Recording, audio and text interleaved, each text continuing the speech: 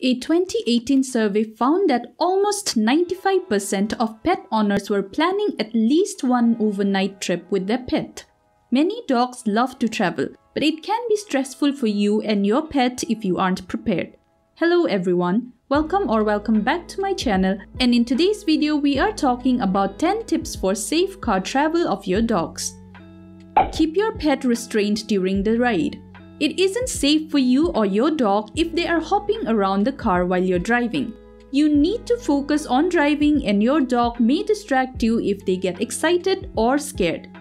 Airbags are great for you, but they can kill your pet if you have an accident with them in the front seat. Because of this, pets should be in the back seat. The safest way for your pet to travel is in a carrier that has been strapped to the seat with a seat belt or other anchor. Make sure the carrier is large enough for your dog to stand up, turn around, and lie down.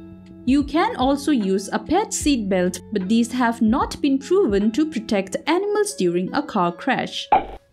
Take several short trips with your dog to get them accustomed to riding in the car before you take off for a long trip. Gradually increase the length of these shorter trips to work up to long distance travel with dogs. Feed your pet a light meal 3 to 4 hours before you leave. While you're on the road, always stop to feed your dog. Don't feed them in a moving vehicle. This may help avoid pet car sickness. Never leave your dog alone in a parked car. It is a safety concern at temperatures higher than 70 degree Fahrenheit or lower than 35 degree Fahrenheit. Pack a travel kit for your pet.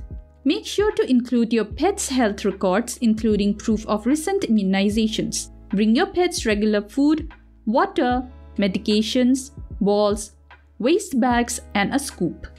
To keep your pet happy and occupied during the trip, pack a few toys, including some new ones for novelty and a few old favorites. Lastly, don't forget a pet first aid kit. Identify your pet. While your pet should have a microchip, Make sure they have a collar with an ID tag with your home address and cell phone numbers as well. All collars should be flat and never use a choke collar on your dog. Don't let your dog ride with their head out the window. There's no denying this makes some dogs happy and it's cute to see. However, your pet risks getting struck by passing debris or thrown out the window in case of a collision or if you have to unexpectedly slam on brakes or turn. If you're following tip number 1, this won't be an issue but it's worth repeating. Carry your pet's most important documents with you. If you're traveling across state or international borders, a health certificate may be required. Bring your own water or provide your dog with bottled water. Drinking water from an unfamiliar source may cause an upset stomach. Prepare your car for your dog. There are many car seats and floor covers that protect your car and add comfort for your dog. If you find yourself frequently traveling with dogs, you may want to invest in some of these. Other types of travel with your pet. Plane travel. Traveling by plane can be complicated with a pet. Flying with dogs poses a risk to animals with short nasal passages such as bulldogs and pugs. They are more likely to have problems with oxygen deprivation and heat stroke.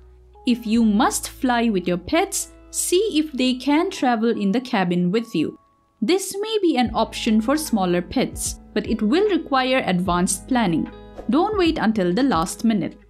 You will also need to visit your vet and get a health certificate that is dated no earlier than 10 days before your travel.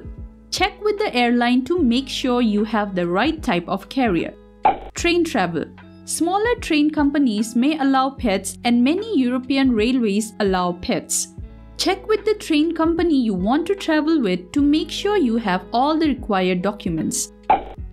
Boat travel. Some cruise lines allow pets to travel with you, but usually only on ocean crossings. Check to make sure your pet will be allowed in your cabin with you, as some ships confine pets to onboard kennels. That's all for today. I hope you found this video useful. Until next time, thank you.